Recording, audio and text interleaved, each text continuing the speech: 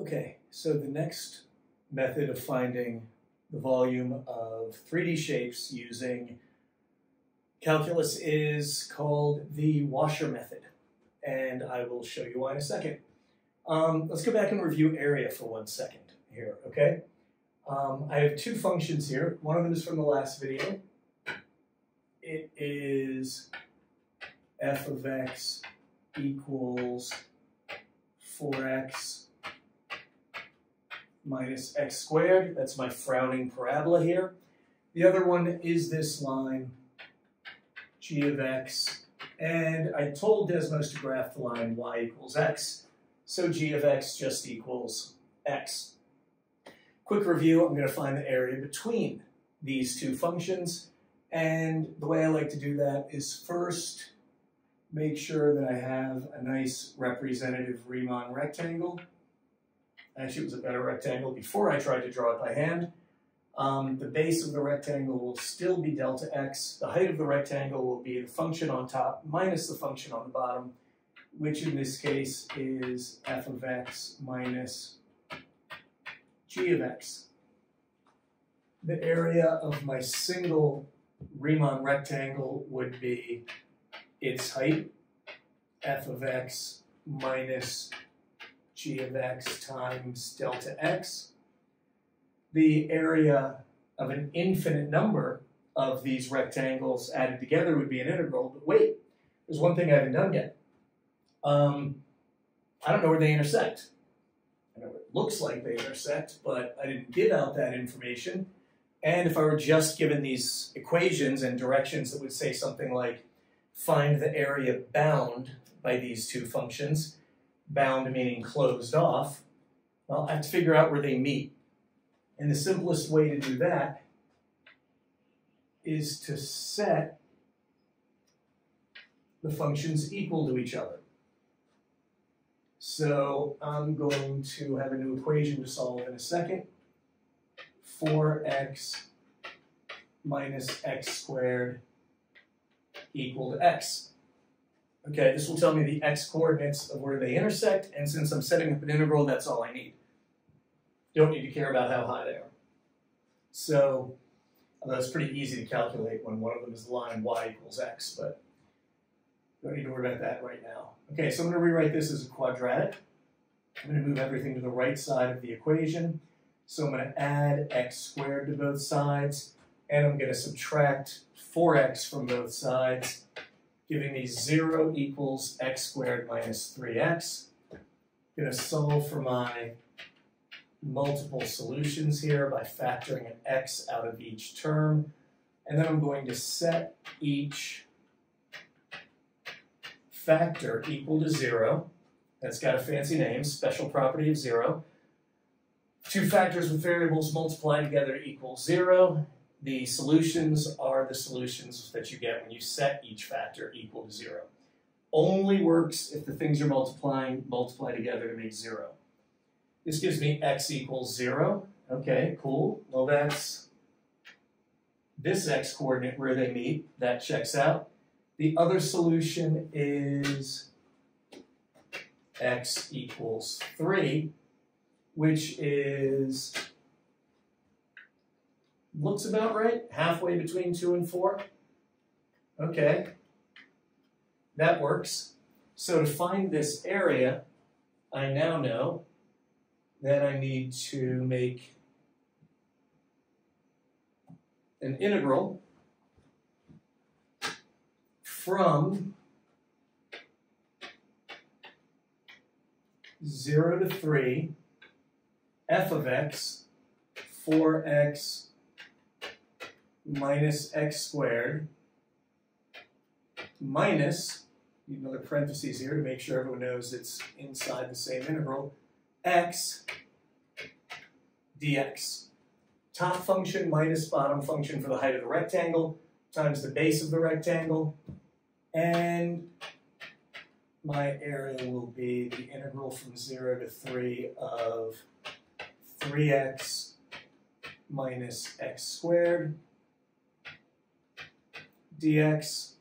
Fairly straightforward antiderivative here. I get 3x squared over 2 minus x cubed over 3 from 0 to 3. Again, one advantage, we'll plug in 3, but then we don't really have to worry about plugging in 0, because plugging in 0 when every term just has an x in it is going to make those terms go away. So this is going to be 3 times 3 squared over 2 minus 3 cubed over 3 a little factoring trick to make this a little easier on myself. I mean, I've got 3 cubed in this denominator and 3 cubed in this denominator. How about I just factor that out of both terms and just deal with what's left, which is 1 half minus 1 third. Common denominator is 6, so that's 3 over 6 minus 2 over 6. So that will get me 27, 3 cubed, times 1 sixth uh, that will be, divide both by 3. That is going to be 9 halves. Sorry for the small writing there towards the end. Um, but that's how I find the area bound between 4x minus x squared and y equals x. Okay? Now, though, let's say we want to find a volume. Now, last time we used something called the disk method to find the volume of an area that we spun around the x-axis, okay? I want to find a different volume now. I want to find the volume you get when you spin this Riemann rectangle right around, um, actually, wait. I'm going to spin it around the x-axis again. Okay, take a quick break here because I have to change something in one of my later slides because there's two ways to do this, and I had it set up to do a different way. But we are going to use something called the washer method, where we are going to spin this Riemann rectangle around, and we are going to get a cylinder, just like the disk method, but that cylinder is going to have a hole in the middle. Actually, before I take a break, I will set this part up. Okay? So we've got a cylinder with a hole in it, which is called a washer in a hardware store. If you go looking for a piece of metal that looks like this, usually very small, it's called a washer, so this is called the washer method. Uh, the way to find the volume of a single washer is really straightforward, actually. It's the volume of a cylinder with a big radius, which we will call capital R, minus the hole in the middle, which is the volume is found by finding the volume of a smaller cylinder, which has a smaller radius, which we call lowercase r. Big R is big radius, little r is little radius. That's about as straightforward as a math formula gets. This height refers to the height of both cylinders in this case, this height is horizontal. Cylinders are normally on their side, but this one's standing upright. Uh, and that height, we'll start calling it delta x because it comes from our Riemann rectangle, and the thickness of our Riemann rectangle is a delta x. R's get a little bit more confusing, but the way this will work out in this volume formula, let's simplify it a little bit, we can factor a pi out of both terms. We can factor an h out of both terms, which I'll put here at the end. And I'm going to change that h to delta x to start making this look like the integral form we'll need in a minute, where it'll be a dx. All that's left in this first term is r squared. All that's left in this next term is lowercase r squared. And you know what, we'll go ahead and talk about this some more before I take that break and set up, fix that animation that I made. That isn't quite what I want. Okay, so, um, what, where do we get the capital R and the lowercase r from? Well, see what color will stick out enough here. The capital R is the radius of the larger cylinder. And the radius of the larger cylinder goes from the x-axis way up to the function that was on top function that was on top of our Riemann rectangle, which is how we figured this all out. So this total distance from zero up to the bigger function, that's my capital R. My lowercase r, in this case, is going to be from the x-axis to the lower function. Okay? So that's going to be how I find both those quantities in terms of the functions. Well, what's the upper function again? That's f of x. This lower function, the one whose y values are below the top one, is g of x.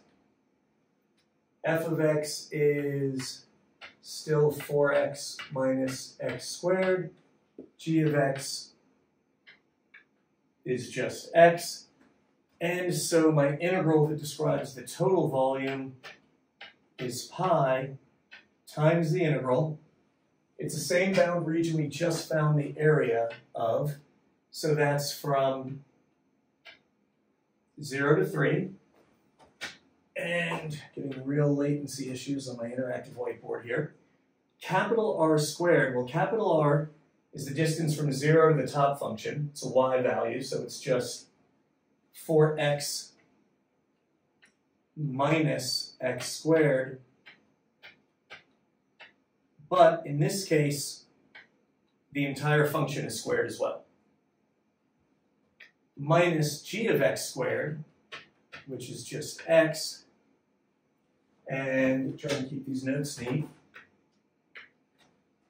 That squared, our delta x becomes a dx because now from this step to this step, we are no longer finding the volume of a single cylinder, we are finding the volume of an infinite number of infinitely thin cylinders, all added together, and we would calculate this integral, which I will do in the notes, but I won't use right now. Uh, I'll go back and add the correct animation to this video, but real quick, first of all, I can show you this part might help. Um, Let's see here.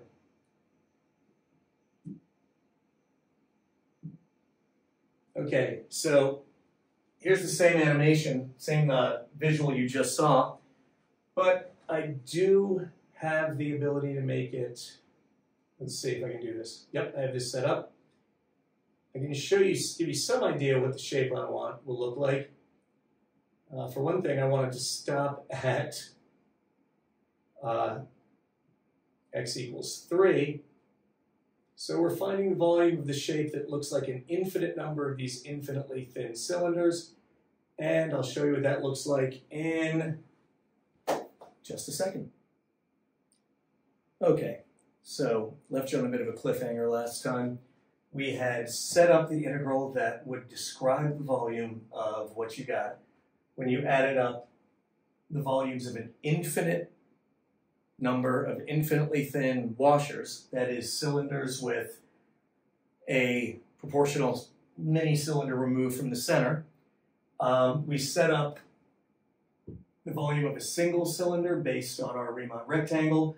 We set up the integral, and rather than take the time to work this out, I thought I'd show you what some of you already know, which is that your calculator can actually calculate integrals. I want you to notice I left the pi out. Didn't want to multiply this times an irrational number. Um, had the calculator determine the integral and had the calculator represented as a fraction, because a lot of times even on the calculator section of an AP exam, the answers will look like this, 108 pi over 5. So assuming I typed this correctly into the calculator, which looks at a glance like I did, um, with the pi removed, I can turn my answer into a fraction and then add the pi afterwards. Putting the pi in first will make that step problematic to say the least. And that gives us some idea of, what gives the exact idea of the volume of this shape. What does this shape look like? That's where I realized I had the wrong animation. Um, let's go back to GeoGebra and show you the washers being generated, a cylinder with a smaller cylinder in the middle taken out. And it's a little harder to see here as it's generated, but the volume we found is actually the volume in between these two shapes. It's the volume of the outer shape minus the volume of this inner area. And this isn't the worst angle to see that at. It's almost like a, a basket, it looks like, but it's really solid. And even though the outer shape looks almost like a hovercraft tire wheel of some sort, the inside that's carved out is a perfect cone because it came from a straight line. So imagine that sort of wheel tire shape with a cone sliced out of the middle. That's the shape we just found the volume of. You don't have to be able to picture the 3D shapes in order to find the volumes accurately, but sometimes it helps. I put a couple of these shapes into your PowerPoint for your notes. So this might help you visualize what's going on, which again, sometimes helps.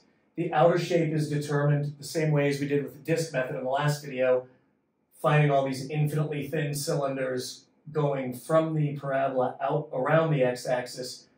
And from that, we take out a central section formed by just spinning this line around the x-axis. Since the line goes through the origin and up at the angle, spinning it around the x-axis gives us a cone. So it's a some sort of bicycle tire minus a cone, maybe, or a motorcycle tire. It's not a perfect shape. Anyway, um, hope this video helped, and I will see you all in class.